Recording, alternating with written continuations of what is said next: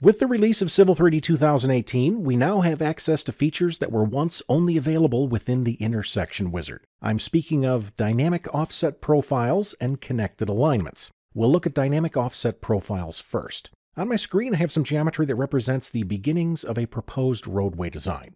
Let's take a quick tour. I'm going to zoom in on the left Right here, I have a surface called EG. This represents the existing ground. Here, I have an alignment called Brickville Road. This is the center line for my proposed roadway design. If I pan over to the right, we will find a profile view called Brickville Road Profile View. And this profile view contains a pair of profiles.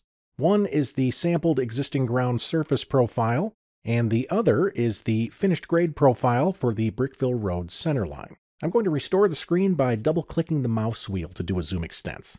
Now let's split the screen in half. I'm going to do that by opening this leftmost in-canvas menu. I'll come down to Viewport Configuration List, and I'll take this all the way over to Side by Side. This is a viewport configuration I created earlier to make it a little easier to view our plan and profile together.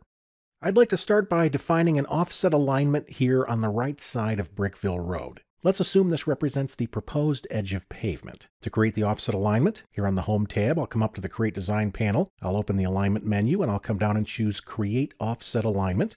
I will then select my parent alignment, and in the dialog box, right here, we can see the alignment we're offsetting from. Right here, I can name my offset alignment. In this case, we'll keep the parent alignment name, and I'll append EOP right. I'd like my offset alignment to run from the beginning to the end of the parent alignment. I don't want any offsets on the left, so I'll set that to zero. I'd like one offset on the right, and we'll set its distance to 12 feet, a traditional lane width. Next, I'll assign the styles.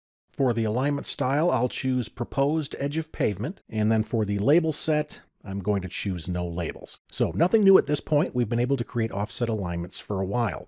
What is new is this tab called Create Offset Profile. This allows me to define a dynamic offset profile that goes along with this offset alignment. You can see the features turned on by default. Since we're creating a profile that's based on another profile, right here we can choose the parent profile. In this case, my parent profile will be the finished grade centerline elevation. To visualize the profile, I can superimpose it into an existing profile view. Let's do that. I'll choose the Brickville Road profile view.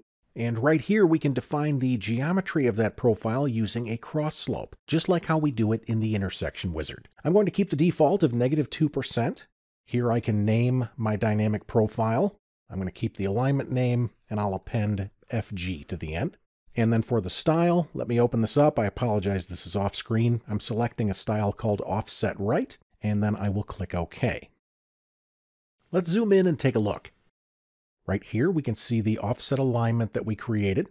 And then if I come down to the profile view, we can see superimposed in here is that dynamic profile that represents a negative 2% cross slope from the center line.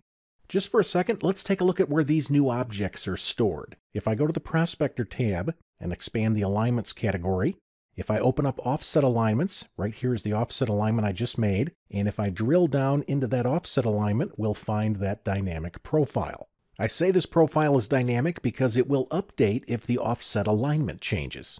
For instance, if I select this offset and then click the grip, we'll pull this out to change its measurement. You can see how that updates in the profile view. Let me go ahead and push this back. Now that I've made some changes, I'd like to set this lane width back to 12 feet. Since the alignment is selected, I'm going to come up in the contextual ribbon. I'll choose offset parameters and we'll set the nominal offset here back to 12. I'll press enter and then I'll click the X to close this palette. I will then press escape to deselect. Next, we'll look at how we can edit the cross slope of this profile. One way to make changes is to select the offset alignment, and then in the contextual ribbon, I'm going to choose Edit Offset Profile Properties. Here in the dialog box, I can change the name of that profile, I can change its style. You can see there are some traditional profile settings here on these other two tabs. Down at the end is a new tab called Offset Parameters. Right here, we can change the cross slope. I'm going to make this something that's obviously different. We'll make it negative 10%, and then I'll come down and click Apply, and you can see that change. Let's put this back to negative 2%, and I'll click Apply. So what I'm saying is, I'm starting at station 0 with a negative 2% cross slope, and I'm carrying that slope the entire length of the alignment. That being said, it doesn't have to be this way. I can define regions along this alignment, each having a unique cross slope. Let's try that. I'll come up and click the Add button to add a region. Let's zoom out, and I'll pan the plan view over. I'd like to add a region at station 1 plus 0, 0. I'm just going to type 100, and I'll press enter. For my slope, I'll set that to negative 2%. Let's set another region at 150, and we'll use a slope that's significantly different. We'll make that negative 10. I will then go down to station 250. We'll make that negative 10%. And then we'll go to station 300, and we'll come back to negative 2%. When I'm finished defining regions, I'll press enter. So based on the entries, you can see that we are going to be carrying a negative 2% cross slope to station 100, and then from 100 to 150, we will transition to a negative 10% cross slope. I will then carry that slope to station 2 plus 50, and then from 250 to 300, we'll transition back to negative 2%, and we'll carry that slope the rest of the alignment. Let me click OK. And if we click in the profile view and I pan this over, you can see that's reflected here. There's my negative 2%, there's my transition, there's my negative 10, and there's my transition back to negative 2. At this point, I'm going to press Escape to deselect the alignment. Let's look at one more way to edit the profile. I can also edit it over here in the prospector. I'm going to right-click on that dynamic profile and I'll choose Properties. From here, we'll go back to the Offset Parameters tab, and let's change these slopes from negative 10 to negative 5.